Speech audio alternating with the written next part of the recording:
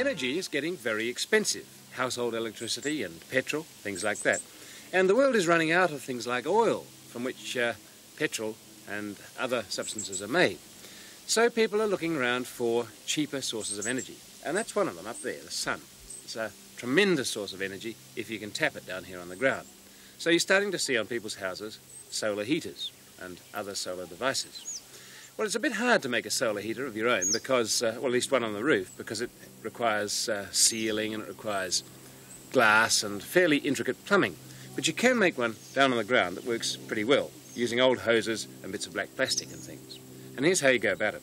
First of all, black plastic because black absorbs sunlight and heat. So that traps the heat, and if you put inside that a hose pipe full of water, it'll transfer the heat into the water in the hose, and you can run it off out the end. And by using a bit of reflector, as they do in the real solar heaters, you can bounce some of the sunlight back into your hose if it happens to have gone through on the first time through. Well, let's see how we start. First of all, with black gardening plastic of this type, you've got a really good base. And it comes to you usually folded over. So if you open it up, you'll find a hinge around about there. What you do is to, to open it up, like a book, and we build the solar heater on the bottom part here. We fold that one back when we've finished the building. Of course, the wind will try and defeat you, so you'll need to make yourself a few of these things, just out of ordinary old fencing wire.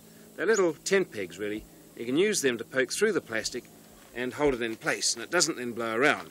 You'll need them for the plastic, for the aluminium foil, and probably for the hose. And that stops the solar heater from blowing around the garden just as you're trying to finish it off. Well, let's anchor a couple more spots.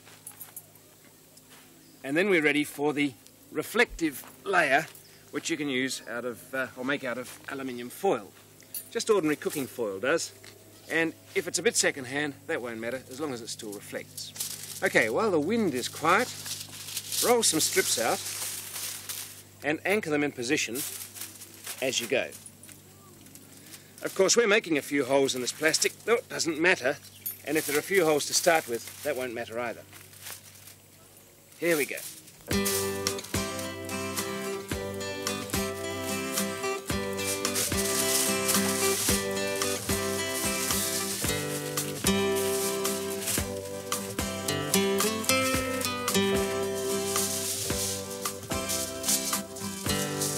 Should do it. And I'll weigh them down to some sticks so that they don't blow around while we get the hose pipe ready. And for that, you need ordinary garden hose. This stuff can get jolly stiff if it gets cold, so leave it in the sun for a while, then it's nice and flexible. And you start with the outlet poking over there, then you start coiling it up as tightly as you can to make a, a nice spiral um, disc right in the middle of this, which means it's sitting right on top of the reflecting aluminium. And if it starts to spring out of place, use these little hooks to hold it down. Here we go.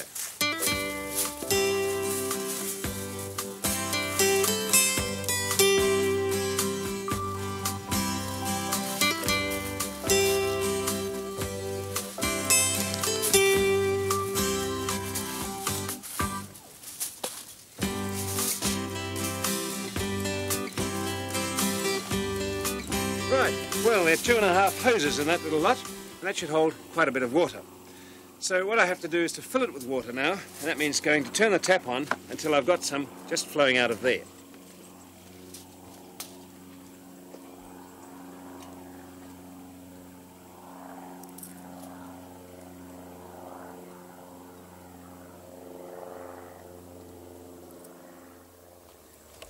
And turning the tap off again means that the hose is now full of the water. And that's the stuff we're going to heat. So we bring the black plastic over the top, the sun comes through, heats the hose, hits the aluminium foil, bounces back, heats the hose, and we'll see how we get on. At this stage it's easier to weigh that down with bricks.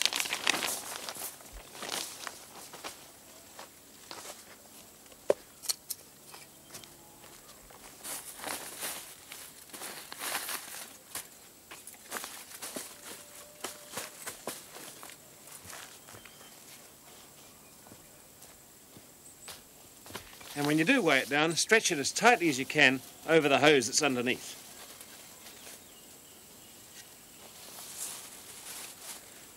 And that should do it. We'll give it about five minutes.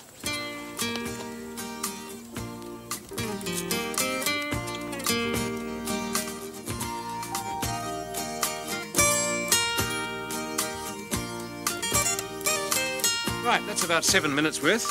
And first of all, there's tap water. That's sitting on a temperature of about uh, about 60 degrees, I think. That's the temperature which is going into the hose. So let's dump that and see what's coming out. Oh, quite a difference. I'll collect some of that and plonk the thermometer back in and the temperature rockets up. There's uh, 70, 80, or somewhere between 80 and 90. So that's, uh, in seven minutes, about 30 degrees uh, increase already. And if we left it there a bit longer, say for half an hour or an hour, it would get very much hotter indeed. I can't do that because it would kill my lawn. But uh, I would get that temperature rise, and with about two to three hose lengths in there, you'd really have quite a decent volume of water, all being heated up with free solar energy.